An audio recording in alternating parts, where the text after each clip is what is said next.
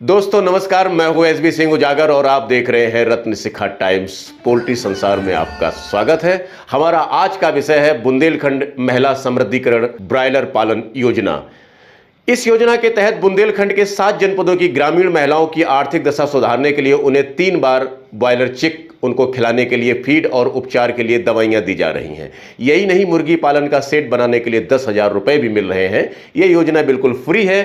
इस रकम की ना तो कोई ईएमआई आएगी और ना ही लौटानी पड़ेगी। दोस्तों, आप जानते हैं कि रत्न टाइम्स एक एग्रोवेस समाचार पत्र पोर्टल और न्यूज़ चैनल है। हम समय समय पर अपने पाठकों और दर्शकों की डिमांड पर कृषि, पशुपालन और पोल्ट्री सेक्टर से जुड़ी विभिन्न तरह की समस्याओं और योजनाओं पर चर्चा करते आ रहे हैं।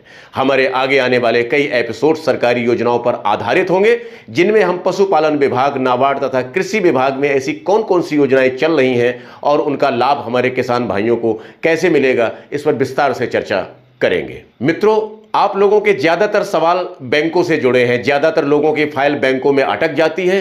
जिससे उनका लोन सेंक्शन नहीं हो पाता। यह एक गंभीर विषय है। इस पर भी हम आगे आने वाले एपिसोड्स में विस्तार से चर्चा करेंगे। आज की स्कीम हमारी बहनों के लिए है। आज हम जिस स्कीम पर चर्चा कर रहे हैं, वह आ तो 2018-19 में ही गई थी, लेकिन चालू अब जाकर हो पाई है। तमाम तरह की व्यवहारिक दिक्कतें और कोरोना जैसी महामारी आ जाने से यह योजना ठंडे बस्ते में चली गई थी। लेकिन इसे लेकर निदेशालय स्तर के अधिकारियों ने खूब पहल की।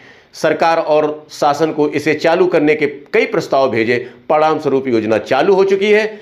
इसके पहले फ़ेज़ के लाभार्थियों को चूजे वितरण का कार्य किया जा चुका है। मैं डॉक्टर ए के जादौन, हमारे यहाँ निःशुल्क चूजे, दवा, दाना वितरित किया जाता है। इनका चयन मुख्य विकास अधिकारी महोदय की अध्यक्षता में गठित समिति द्वारा किया जाता है।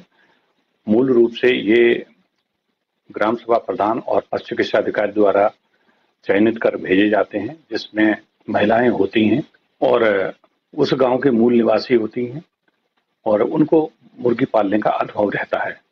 तो वहाँ से लिस्ट तैयार होकर जब ज़िले स्तर पर आ जाती है तो मुख्य विकास अधिकारी महोदय द्वारा पोल्ट्री प्रोग्राम ऑफिसर और मुख्य पशु चिकित्सा अधिकारी की उपस्थिति में इसको प्रोग्राम ऐसे चयनित सूची को फाइनल किया जाता है। तदोपरांत इनको 50 चूजे 28 करीब 28 किलो राशन, दवाइयाँ दी जाती हैं। लाभार्थियों को सात दिवसीय प्रशिक्षण भी दिया जाता है, जो पशु चिकित्सा अधिकारी द्वारा विकासखंड स्तर पर या उनके किसी गाँव में एकत्रित लाभार्थियों को एकत्रित कर ग्राम स्तर पर भी संपादित करा दिया जाता है।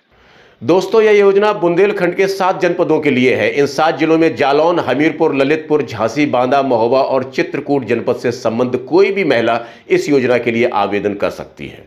इन क्षेत्रों में आने वाली महिलाएँ यदि मुर्गी पालन को अपना व्यवसाय बनाना चाहती हैं तो वह अपने ब्लॉक स्थित पशु चिकित्सालय पर संपर्क कर योजना के लिए अप्लाई कर सकती हैं। ब्लॉक से चयन होने के बाद वह फ़ाइल उस ज़िले के मुख्य पशु चिकित्साधिकारी के यहाँ ट्रांसफ़र कर दी जाती है।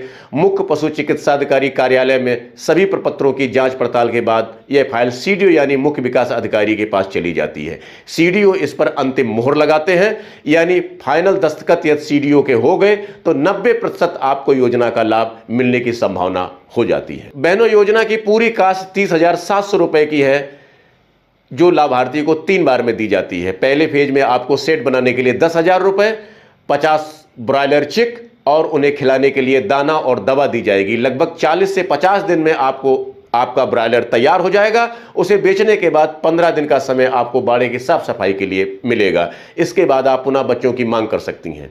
पहले फ़ेज़ की तरह ही दूसरे फ़ेज़ में भी पचास चिक दाना और दवा दी जाएगी। इस तरह से एक साल में कुल मिलाकर तीन बार पचास पचास की संख्या में चिक दिए जाते हैं। बड़े जिलों में 1700 से 1800 तथा छोटे जनपदों में 1200 से 1300 लाभार्थियों का चयन किया जा रहा है।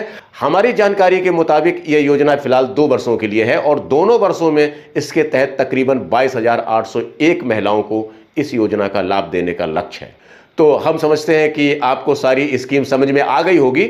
यदि फिर भी कोई बात रह गई हो तो हमें कमेंट्स सेक्शन में जाकर ज़रूर बताएँ। हम आपको वहीं पर इसका उचित समाधान भी बता देंगे। यदि फिर भी समझ में नहीं आया तो अगले एपिसोड में इसे और विस्तार से समझा दिया जाएगा। तो आपको ये स्कीम कैसी लगी, हमें फटाफट बताएँ। आगे आपको किस योजना के संदर्भ में जानकारी चाहिए, वह बताते रहें। नमस्कार।